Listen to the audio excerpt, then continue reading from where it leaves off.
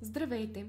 Ако искате да кандидатствате по програма Erasmus+, вашата организация трябва да притежава идентификационен код, наречен ПИК.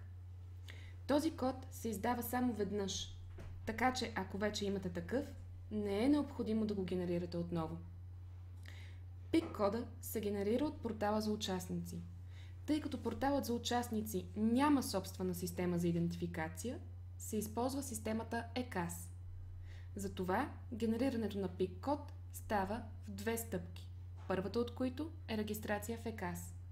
В това видео ще видим как да си направим такава регистрация.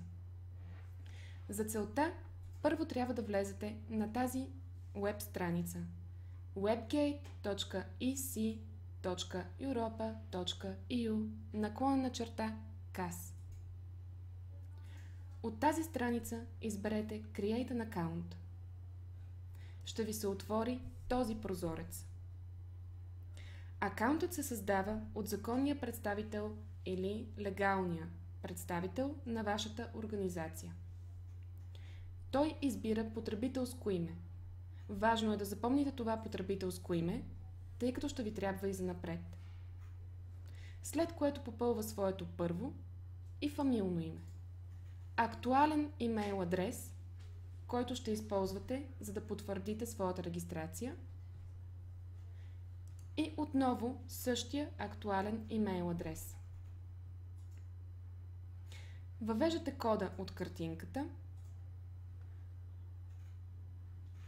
натискате тази отметка и Create an Account.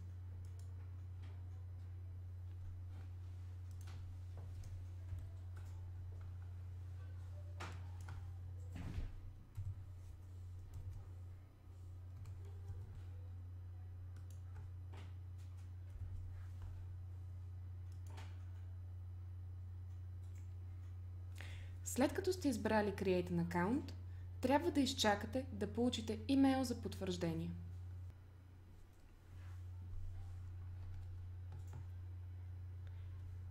Ето така изглежда вашият имейл за потвърждение. Натиснете този линк. Ще ви се отвори този прозорец. В него можете да въведете своята парола. Изберете парола, която трябва да съдържа цифра, главна и малка буква задължително и не по-малко от 9 знака.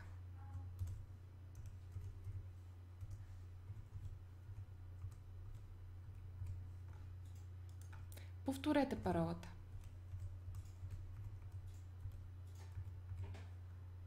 Натиснете Submit. С това вашата регистрация в портала ЕКАС приключва. Запомнете своите данни, потребителско име и парола. Те ще са ви необходими в бъдещата ви работа по програма Erasmus+.